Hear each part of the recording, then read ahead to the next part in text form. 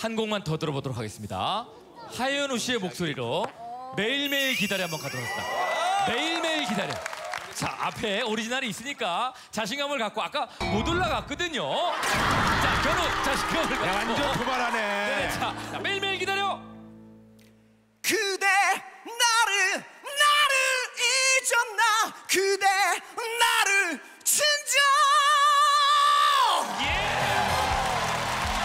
기성주 씨, 감사합니다, 우리 견우님.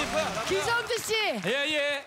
몇 주 지나서 음악대장의 매일매일 기다려가 기억이 잘 안 나요. 아왜 그러세요? 지금 진짜 목소리가 지금 보니까 안 좋아요. 아, 지금 하현우 씨가 지금 굉장히 당황합니다. 기침과 함께. 예.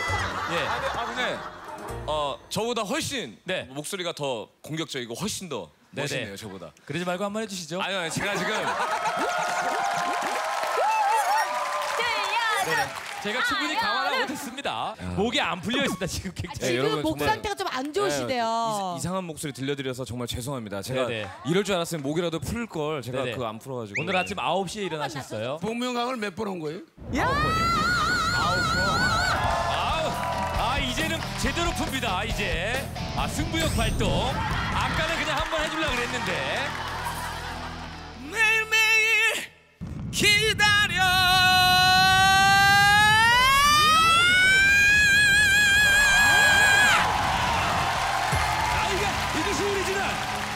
이것이 사우팅이다. 야, 살아 있습니다. 대상이 형. 음악 대장.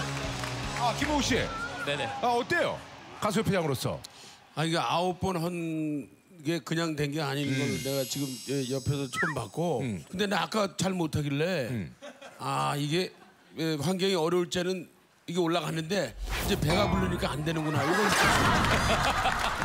그런 작정하고 하니까 또 올라가네요. 그러니까. 네네. 배고 포지션을 생각하니까 또 올라가잖아요 노래는 헝그리예요. 네, 헝그리. 헝그리 정신